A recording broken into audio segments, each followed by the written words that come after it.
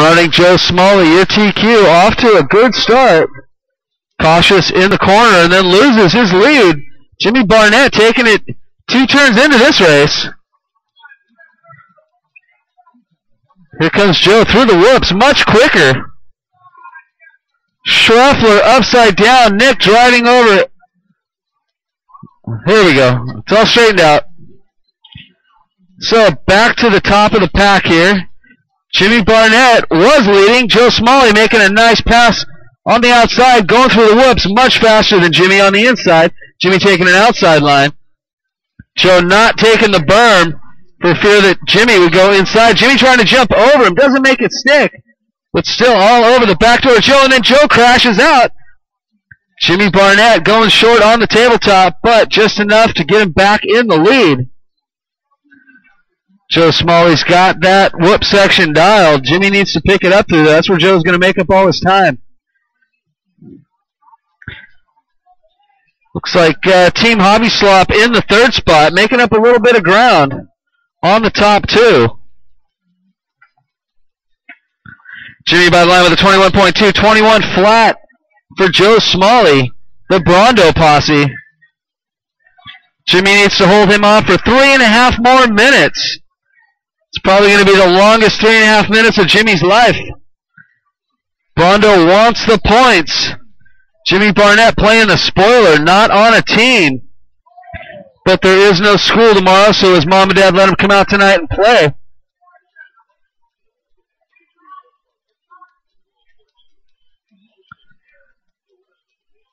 Twenty point seven for Barnett, twenty point six for Joe Smalley. Jimmy rolling it over. That's going to put Joe back up into the top spot.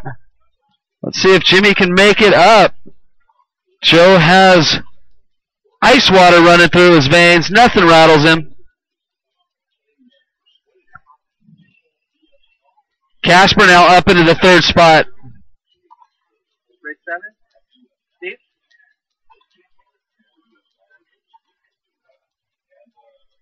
Two thirty down, two thirty to go for Joe Smalley, Jimmy Barnett, and Team Hobby Slop rolling it over. Here comes Matt. Team Losi taking over that spot now.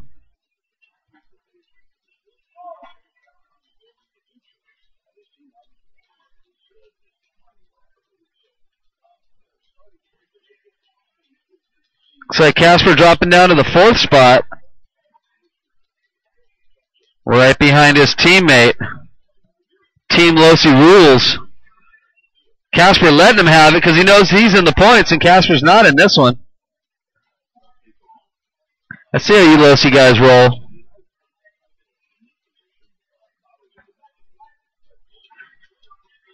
Looks like Nick all over the back door of Smalley now, unfortunately being lapped. Jimmy Barnett rolling it on the step down. That's going to give Joe a lot more breathing room. Let's see if Nick has anything for Joe, and the answer is no. Jimmy getting through that whoop section nice and fast, but with one and a half or one minute thirty seconds to go, or one and a half minutes, or as they say in Europe, ninety seconds. I don't know if that is enough time for Jimmy to make it up. Joe needs to have a bobble here.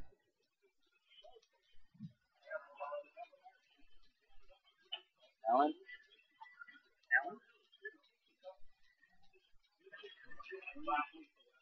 Oh, race seven.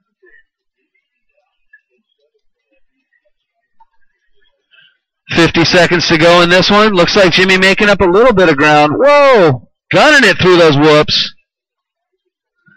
Nick lets Jimmy by because if Jimmy gets ahead of Joe, that means one less point for Joe and one more point for Nick. Oh, and Jimmy rolls it over. Then Nick rolls it over. Whoa, Brad, be careful. 30 seconds to go.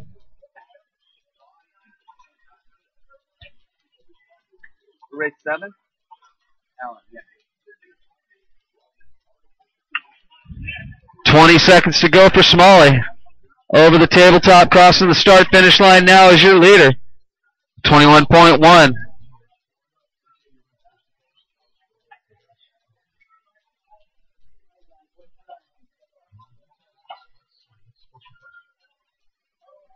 All right, guys, that is time on the master clock. When you cross the start finish line, you will be done. Everybody on their last lap. Looks like the Brondo posse taking home 100 points tonight in that run. I'm not quite sure how Brad did in his run, but I'm sure it was pretty good. Jimmy Barnett in the second spot, finishing six seconds behind Smalley. Team Losi rules in the third. Nick Nixty in the fourth. Looks like Casper going to finish up in the fifth spot. And Team Hobby Slop never finished the race. Colby Poe neither. Alright, guys, if you got a transponder, hand it back, please. Head on out to the track and turn, Marshall. Race number seven, you got the track.